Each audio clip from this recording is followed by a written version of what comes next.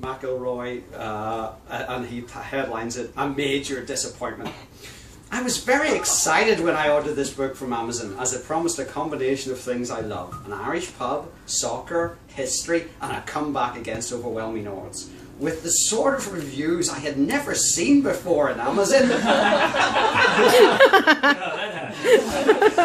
74 people rated as 5 stars. I knew I had a can't miss book in Finn McCool's. Sadly, I was very disappointed. I really tried hard to like this book, but it never clicked.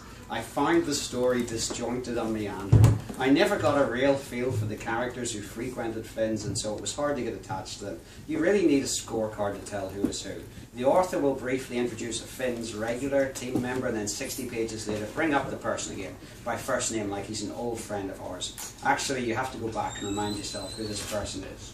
A few other irritating things. Uh, one, Rea frequently identifies correctly what he sees as racism, particularly against African Americans, and then becomes Exhibit B by himself stereotyping Hispanics at several points in the book.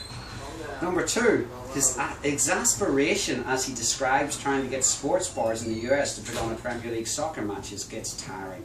An American trying to do the same in England, prodding a bartender in a London pub to switch one of the TVs to New Orleans Saints game, when Chelsea are playing, and they would be labelled an ugly American. Number three, his comments on the United States in general I found very juvenile. I have no problem with a writer making observations on his adopted country. I just find that Rea was not very perceptive or insightful.